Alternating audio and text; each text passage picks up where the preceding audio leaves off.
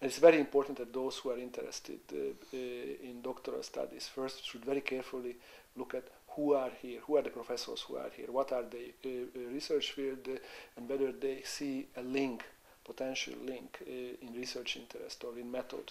So it's very important that although we take students whose research interest is not in the narrow research field of the professors here, uh, but it's much easier and it's much better. They make a better use uh, if they apply for topics uh, with topics and with suggestions and with the research areas that are covered by the department. That's the first thing.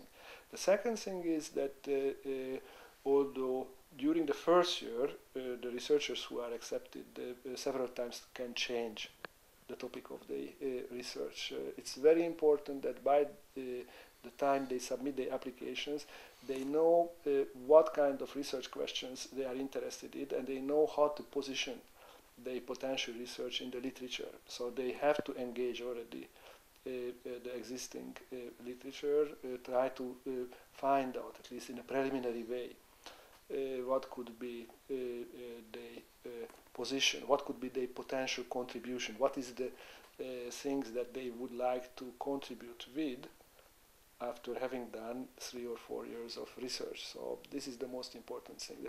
The, the research report uh, uh, is the key.